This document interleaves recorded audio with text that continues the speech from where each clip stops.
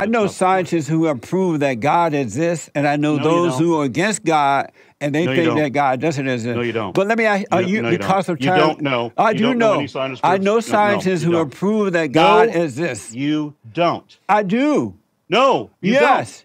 Then where is their Nobel Prize? Why why have I not heard of them? Why are there still atheists? Why is Because the it- majority of the scientific community still Because atheist? it, because if it, proved that God existed, then we would all know that God exists. No, you don't know. Oh, Any yeah. scientist. Yes, I do.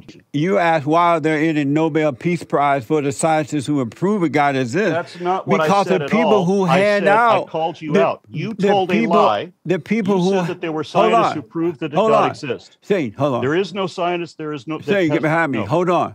no no scientist has ever done that. Um, If that had happened, let me say there would this to you. buckets of documentation. Let me for it. say that the reason that would have gotten the- the Nobel Prize and the Templeton Prize, they'd be All world right, famous. fine.